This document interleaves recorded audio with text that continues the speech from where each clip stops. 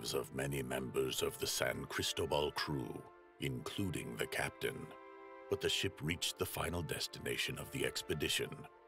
Instead of the island, the sailors found an impassable chain of rocks and dangerous currents. They called it the Bimini Belt. After unsuccessful attempts to pass the Bimini Belt, the ship was badly damaged and in need of urgent repairs. First mate Fernan, who had become the new leader, decided to stop near one of the large islands. Fernan organized the construction of a temporary camp there in order to find resources to repair the San Cristobal, as well as to search for other survivors who could be on the islands nearby. A few days later, the survivors arrived themselves. Juan Ponce de Leon was accompanied by sailors from the Santa Maria. Once again, the commander encouraged his comrades in the success of the expedition.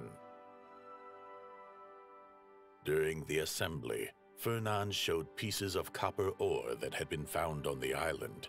If enough copper could be found, it was possible to repair and strengthen the San Cristobal and continue the expedition the crew decided to go in search of copper ore deposits. The next morning, Fernan Delgado and Juan Ponce de Leon, as the most experienced explorers, left the camp.